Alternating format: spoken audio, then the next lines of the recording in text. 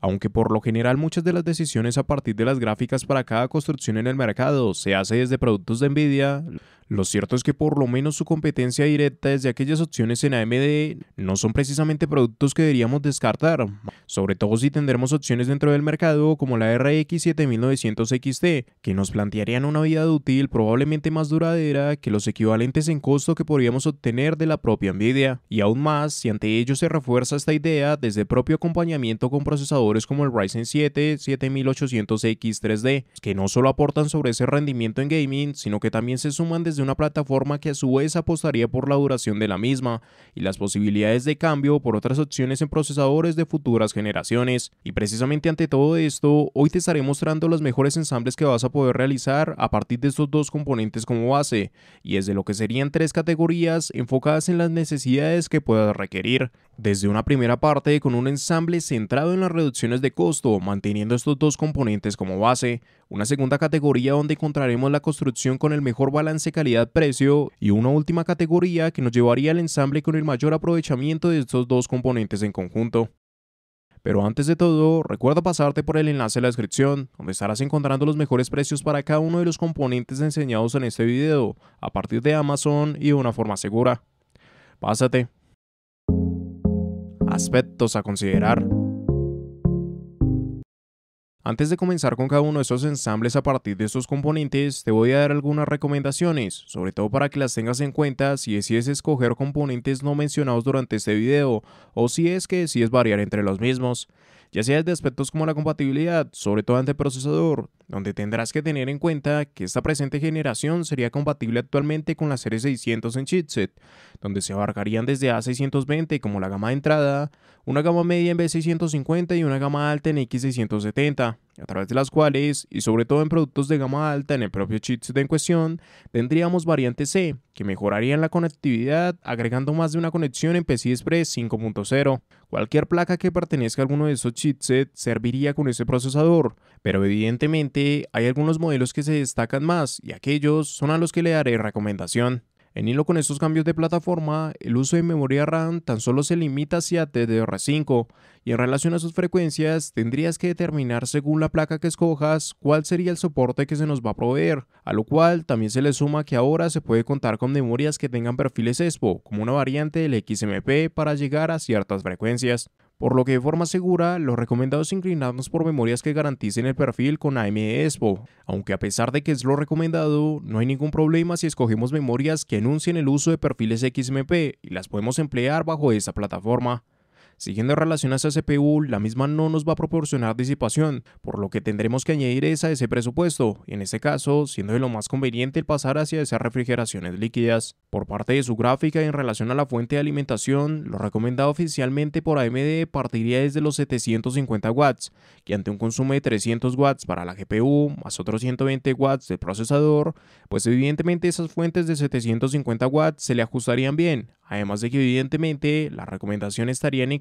por marcas reconocidas y con certificaciones. Más allá de ello y por lo menos su compatibilidad, tampoco hay mucho que vamos a tener en cuenta. Probablemente el formato de la placa y hasta propio tamaño de los ventiladores y radiadores sea lo único adicional a tener presente. De igual manera en el canal encontrarás videos más detallados sobre compatibilidad, además de que en los comentarios y en mi canal de Twitch también te estaré respondiendo a algunas de tus preguntas. Finalmente como mención, esos precios mostrados entre estos componentes pueden llegar a variar dependiendo de cuando mires este video, y por lo cual te recomiendo guardar el enlace en la descripción iré hablando los costos entre esos componentes para obtener la mejor oferta disponible. Ante todo ello también ten presente que aunque te voy a enseñar ensambles completos, debes modificar aspectos como la cantidad de memoria RAM extra o el almacenamiento adicional según tus propias necesidades. Ensamble económico aunque por lo general a partir de un ensamble desde componentes en esta gama no se suele plantear muchas reducciones a partir del costo, sí que lo mismo puede llegar a ser completamente factible, y para ello tendríamos distintos apartados desde donde podemos disminuir ese costo final. Bajo lo mismo partiremos en la mención por esa placa base, donde a pesar de que se cuenta con una gran cantidad de alternativas, lo cierto es que la mejor dentro de ellas sobresale en Gigabyte con la B650M DS3H modelo que parte con una base muy similar en características con respecto a su competencia, que vendría por EMEA de Asus y MSI. Con ello, por ejemplo, se parte con un diseño para el VRM entre las 6 u 8 fases para su V-Core, y aún más si precisamente se da acompañamiento en disipación, que la llevan a rebatir precisamente a ese modelo en Asus. Además de esto también daremos paso a un WM.2, siendo a su vez la única placa dentro de estas en añadir la disipación para ambas unidades, algo que también se refleja sobre esas conexiones en USB de tipo C, siendo la única placa dentro de las mismas en estar incluyendo un encabezado para el gabinete como una conexión de cara hacia su backplate, y aún partiendo de mejoras como estas ante su competencia, inclusive tendríamos un mejor costo que esta, por lo que evidentemente esta es opción más indicada dentro de un modelo económico. Por encima de ello, la mejora más importante sería pasar hacia formatos ATX y con ello tener mejoras en el URM como hacia un tercer M.2. Y entre esas placas, mi recomendación llevaría ante una primera parte hacia B650 PG Lightning de ASRock, que aporta dichas características, aunque descuidaría mejoras generales como disipación, y para ello precisamente la última recomendación en placas estaría con B650 Gaming Edge, que sí queda esos avances mencionados con esas mejoras generales extra. Cualquiera de estas placas realmente es una excelente opción dentro de un rango económico y como hemos visto, la mejora por lo menos en conectividad vendría por el aumento en M.2, por lo que evidentemente el aprovechamiento de estas conexiones sería lo ideal. Bajo lo mismo tendríamos dos opciones ante esa elección, el SN770 en Western Digital, que haría el paso en PCI Express 4.0 o desde PCI Express 3.0 con el 980 de Samsung, que son unidades que utilizan caché para aumentar sus frecuencias, pero que aún así dejan un excelente rendimiento por encima de aquellas unidades por SATA y es de costos bastante cercanos a ella. Dejando de lado esto, tomaría hincapié aquellas alternativas que tendremos para la memoria RAM, donde si quisiésemos opciones económicas, lo más apropiado sería quedarnos en los 16 GB, a partir de dos módulos que podrían venir desde unidades como FuryBest de parte de Keystone, que aportan no solo un buen precio, sino que también una segunda alternativa de RGB que apoyaría ese complemento visual, desde un costo bastante cercano. Asimismo, frecuencias en los 5600 megatransfer es un buen punto intermedio para reducir la pérdida de rendimiento por ese apartado siendo así que ya tendremos tres de las características más importantes para esta construcción, y con ello nos centraríamos sobre las dos piezas base, donde por ejemplo, desde ese procesador, no podremos realmente hacer mucho a favor de las reducciones de costo, más allá de la elección sobre la refrigeración, donde si precisamente queremos un costo económico, lo mejor sería inclinarnos por opciones en refrigeraciones por aire, entre las cuales se destacarían modelos en un perfil alto como pueden ser la Deadcool AK500 o la NH U12S en esa variante Por debajo del precio de la misma, realmente no recomendaría ninguna otra alternativa. De hecho, lo aconsejable ya sería partir con opciones de una mayor gama. Asimismo, y si lo que buscas es pasar hacia una refrigeración líquida, lo mismo nos llevaría hacia un primer modelo como sería el Magic 240 Scenic V2 de Thermal Ride, que apenas si se desapegaría del costo de esas opciones por aire y sí que mejoraría ese rendimiento. Además de esto, también encontraríamos a la Deadcool LS520 SE como otra de esas opciones aconsejables por su relación calidad-precio. Y tal cual como aquella CPU, veremos que a partir de la gráfica tampoco hay muchas variaciones en el costo que podamos conseguir. Por ende, y en la mayoría de ocasiones, ese precio mínimo sería el costo de partida de estos productos, donde por ejemplo veremos modelos como la Pulse de Shapir, o las MER 310 de XFX, así como las Hillhound de Power Color. No hay mucho que decir entre ellas, Power Color y la Chafir serían lo más aconsejable por su disipación, pero también pueden aumentar su costo levemente. Junto a las mismas entraría precisamente la elección de su fuente de alimentación, donde nos apegaríamos a la recomendación por parte de AMD centrándonos en los 750 watts, que en este caso vendrían desde opciones como las A750 GF MSI o las GF1 para Thermaltake, ambas con una excelente calidad para estos componentes y desde un costo muy competitivo. Teniendo todo esto sobre la mesa podríamos dar elección a ese gabinete, donde por lo menos para este costo llega a ser difícil el conseguir una buena alternativa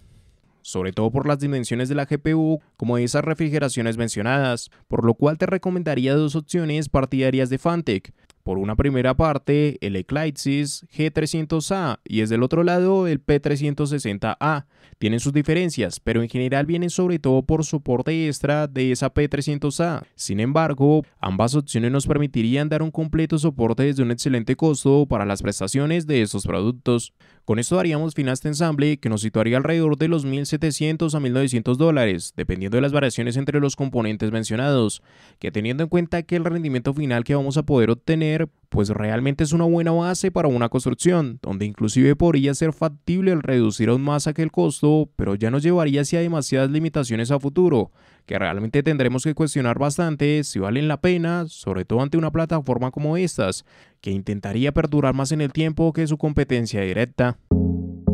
Ensamble, calidad, precio.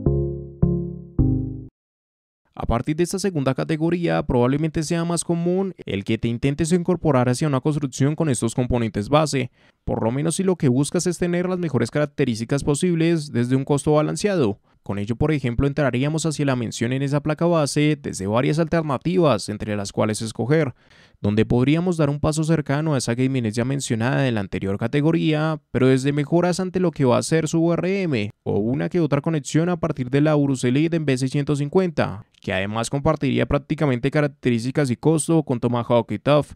Pero como el cambio tampoco es algo significativo con respecto a esos modelos ya mencionados, daríamos paso hacia las alternativas en las cuales me centraría en esta categoría, desde donde tendremos tres modelos con cambios sutiles entre ellos, P650 Carbon, X670 Urus Elite y X670E Tough,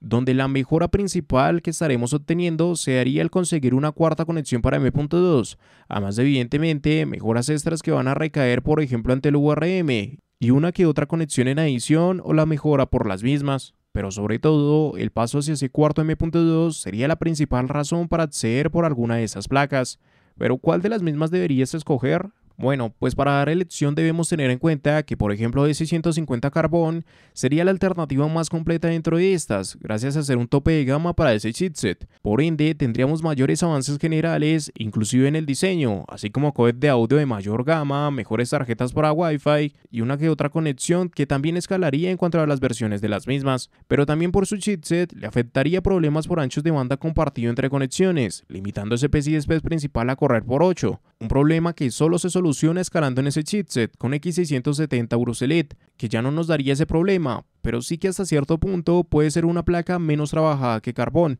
mientras que Dove nos lleva hacia la misma base de Urus Elite, pero con la posibilidad de contar con dos conexiones en PCI Express 5.0, así que la mejor dentro de esta sería carbón, si no le damos mayor problema al ancho de banda compartido entre conexiones. De lo contrario, Aurus Elite sería el primer paso a dar, y la mejora hacia TOF dependería de si quisiésemos una segunda conexión en PCI Express 5.0. Planteando esto y teniendo en cuenta que tenemos más conexiones sobre M.2, precisamente entraríamos hacia la recomendación para su almacenamiento, donde sí que partiremos con un mejor aprovechamiento de lo que sería PCI Express 4.0, para lo cual tendremos excelentes modelos, donde tendremos por ejemplo modelos como los 980 Pro de Samsung, como una excelente alternativa en relación a la calidad-precio, y donde veremos pocas mejoras significativas por encima de lo que nos suministra este producto aunque de igual manera aquella recomendación de la anterior categoría seguirían siendo acertadas para ese almacenamiento secundario, desde unidades como los SN770 en Western Digital o los 980 para PCI Express 3.0. Desde ahí partirían dar recomendación sobre la memoria RAM a incluir, que tendría como mejoras principales construcciones más sólidas, diseños mejor trabajados, además evidentemente el aumento de frecuencias, llegando en este caso hacia los 6000 megatransfer como lo aconsejable para las mismas, y que nos lo suministrarían unidades como Delta RGB por parte de Team Group, hasta inclusive esa Z5 Neon en G-Skill, que también se ajustarían a los costos para este ensamble. Además de eso, y por lo menos en relación a la categoría, el avance más coherente estaría bajo el aumento de parte de su capacidad, escalando en los 32 GB. Con eso tendríamos los tres componentes principales en esta construcción y podríamos dar paso a la refrigeración a utilizar, donde sí que tomaría mayor incidencia aquellas alternativas en refrigeraciones líquidas, y es de lo mismo, vendrían modelos con un excelente rendimiento como costo, desde lo que van a ser las Artil Liquid Freezer 2 a 240 milímetros, que siguen aún a día de hoy planteando una excelente alternativa para este mercado, aunque como siempre, ese apartado estético de parte de su bomba no es el añadido que más se distinga, y por ende entrarían también en juego otras opciones como la CLS 520 en Deadpool, que aproximarían ese rendimiento como costo, pero aportarían un mejor apartado visual, y a pesar de que lo más común sería optar por este tipo de refrigeraciones, Aún ante todo ello, queda abierta la posibilidad sobre aquellas refrigeraciones por aire, donde se destacan modelos como AK620 en Deadcool entre el primer paso a dar, hasta lo que nos llevaría sobre la NHD15 Nota como nuestra opción definitiva. Y a partir de cada una de estas alternativas y teniendo en cuenta que las dimensiones de estos productos habitualmente condicionan la compra por el gabinete, daríamos paso a la recomendación por este, donde normalmente y para el rango de precio de estos componentes en esta categoría veremos bastantes gabinetes que se acomodarían a las exigencias de estos componentes, entre los cuales veremos cómo se llegan a destacar opciones típicas como los 4000D de Corsair, que nos aportan el soporte necesario para estos apartados y una estética poco distintiva pero bien trabajada. Aunque precisamente bajo ellos, si quisiésemos arriesgar por otras alternativas, veremos modelos como los 110R MSI entre estos, donde se suma un soporte muy similar al de S4000D, pero es de un trabajo más arriesgado de parte de su frontal. Y así como menciono esto, veríamos muchas opciones que dependerán sobre todo de tus gustos, como el H5 Flow o el TD500, que perfectamente se pueden complementar con estos apartados. Siendo así que tan solo nos faltaría dar mención sobre la gráfica como la fuente en cuestión que estaremos incorporando, donde veremos que la principal mejora que nos puede llegar a aportar aquellas gráficas van a recaer principalmente por el avance ante apartados estéticos, algunos leves aumentos sobre la frecuencia o mejoras leves en esa refrigeración, y con ello se destacarían distintas alternativas, como pueden ser las TUF de Asus, las Gaming OC hacia Gigabyte o aquellos modelos base, Chafir o Power Color, e independiente de la acción por cualquiera de esas fuentes, nos llevaría hacia las mismas alternativas, como pueden ser la MSI MPG A750GF, que perfectamente se sigue acomodando en este ensamble, pero aún así, inclusive tendríamos la posibilidad de estar escalando sobre esos 850 watts, desde opciones como las GF1 para Thermaltake, que apenas sí tendrían diferencia en costo. Con ello haríamos finalización a esta construcción, la cual nos estaría situando alrededor de los 1.900 a 2.100 dólares, dependiendo de las modificaciones que podamos dar entre los componentes mencionados. Pero precisamente nos llevan ante una construcción donde es raro el que vayas a necesitar de mejoras por encima de la base planteada por este ensamble, y de ser necesario la mejora de algún añadido, nos acercaría hacia la suma de apartados específicos que precisamente son los que nos traería la próxima categoría. Ensamble para gama alta. A partir de la última categoría que te estaré mostrando en este video, veremos cómo se podría dar mejoras a muchas de las características de esta construcción, para obtener ya sea avances a partir del diseño o la suma de añadidos específicos. Con ello, por ejemplo, la mención sobre aquella placa base nos llevaría ante una gran cantidad de opciones, entre las cuales veremos tres modelos principalmente, B650E Gaming, X670E F Gaming y X670E Carbon placas que principalmente van a estar mejorando en cuanto al URM, con opciones más adaptadas hacia esas modificaciones en OC además de estar incluyendo tres conexiones en PCI Express 5.0 e inclusive mejoras generales por el aumento en conexiones hacia ese backplate como la suma de más utilidades, donde pasa un poco el mismo factor de los modelos en la anterior categoría, donde B650E Gaming es un modelo que se asemeja mucho a las dos opciones extra, pero desde mayores problemas en anchos de banda compartido entre conexiones, mientras que F Gaming y Carbon son placas muy similares entre sí, pero desde distintas compañías. A partir de ahí, y la mejora por opciones de mayor gama nos llevarían a estar incluyendo añadidos específicos, entre los cuales se destaca USB 4, URM topes de gama o mayor aprovechamiento en PCI Express 5.0. De esta manera, por ejemplo, tener el mejor URM como USB 4 nos llevaría hacia B650E Type-C y X670E Type-C, con el cambio de que para B650 tan solo se añaden 3 M.2, por el otro lado, y si lo que buscamos es un buen aprovechamiento de PCI Express 5.0 y un URM también a la altura, entraría en juego Aurus Master para B650 y X670, donde el cambio principal son las limitaciones por anchos de banda compartido entre conexiones para ese modelo en B650. Evidentemente hay bastantes opciones, pero cada una dependerá de esas mejoras que requieras, y a su vez verás cómo este sería uno de los apartados donde mayores avances podemos conseguir, puesto que ante otros añadidos como la memoria RAM, veremos que no hay muchas mejoras que podamos aportar, más allá del paso obvio por el aumento leve en sus frecuencias, por encima de los 6000 megatransfer,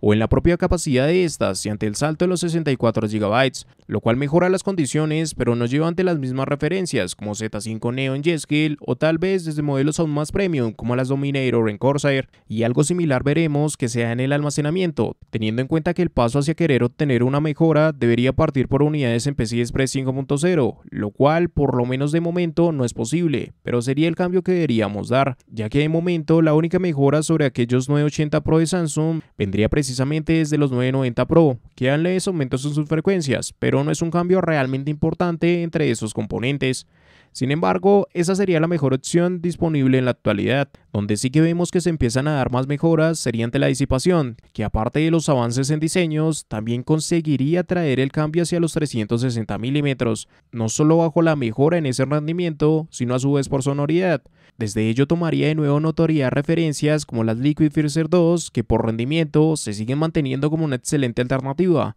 pero por diseño se quedan bastante cortas, y es ahí donde empezaría a tomar hincapié alternativas como las LT720 en Deadcool, hasta lo que inclusive nos llevaría en complementos visuales, como esas pantallas integradas a partir de referencias como la Ryujin 2 a 360 mm en Asus. Y tal cual como estos añadidos, donde la principal mejora que vemos viene sobre su apartado visual, el hablar sobre su gabinete trae exactamente esa misma mejora, al incluir en este caso modelos más distintivos en este mercado, donde por ejemplo veremos que se destacan referencias típicas como aquellos Lian Li PC011 como una opción tradicional para este tipo de gamas, hasta lo que inclusive nos llevaría sobre Thermaltake desde líneas como Core P o las Tower 500. Con eso tan solo nos quedaría dar mención a esa gráfica y la fuente en cuestión que vayamos a incluir, donde volvemos al mismo factor de que hay pocas alternativas extra de dónde escoger, por ende, esas gráficas de la anterior categoría, como los modelos base en Power Color o Shafir, seguirían siendo apropiadas en esta ocasión, y cuando mucho se acompañaría de alternativas icónicas de AMD, como pueden ser la línea Red Devil de Power Color. Asimismo y a partir de aquellas fuentes sí que nos declinaríamos completamente sobre los 850 watts, manteniéndonos desde referencias como GF1 de Thermaltake o la SA850 GF MSI. De esta manera es como se completaría esta construcción que nos puede llevar fácilmente sobre los 2.500 dólares, el cual pues es un precio que ya se pone un poco más en duda el que tanto pueda valer la pena la inversión por alguno de estos componentes, que muchas veces solo nos añadirían apartados estéticos o características que frecuentemente no estaríamos utilizando. En conclusión,